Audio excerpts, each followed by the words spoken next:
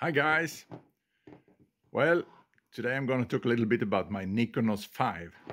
It took in water some 10, 15 years ago. I don't even remember. Maybe 10 years ago. And uh, I left it. Now I decided to fix it. Actually, the rubber here started to get soft, but that you, you just put on uh, baby powder o over and over. Now it's time to put it again, and that will cure again. So that's no problem. Now, where was the problem? One O-ring had been leaking. So obviously those that you regularly use were in good shape, the lens also. So I had to start looking for what it could have been. To make a long story short, it was this one. And it's a rather simple one to fix. Just take off the screw there, pull it out, and it was full of salt, all dry, so I greased it up. It should be good to go. But when I was at it, I checked all the O-rings, and I also took everything out to make sure there was no damage on the inside. First thing you have to take off is this little piece here with four screws. And then uh, there's one screw there, two screws in the bottom there.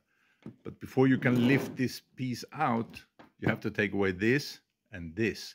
There's one screw on the top, and then you just lift it up. There are three O-rings inside. This one has this little thing here that holds it. So once that is off, you you just pull this off and then lift this one straight up. There are two O-rings in here. The last O-ring, you don't actually need to take off in order to lift out this thing inside. But to lift this out, completely. You have to unscrew the flat cable to the display. And that's a little bit tricky to get back in. So my trick to get it back in was to put this one underneath it to hold help hold everything in place while I put in the screws. So the last O-ring is the one inside here. I have to pull this rubber down a bit unscrew this screw, which you probably won't be able to do. I couldn't do it. It broke off because it's a little screw that's screwed, I don't know, somewhere here I have it. Yeah.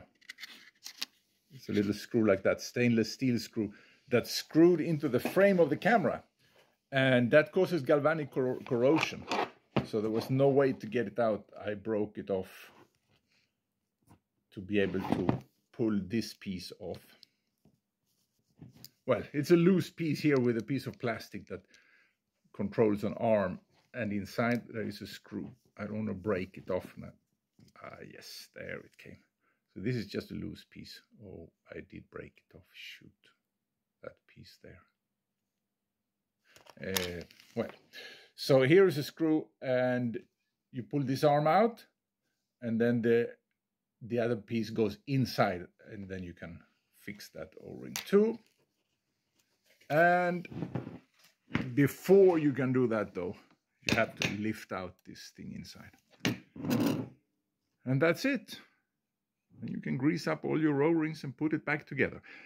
It worked uh, after i did of course the o-rings here and here too. The the flash connector and the battery.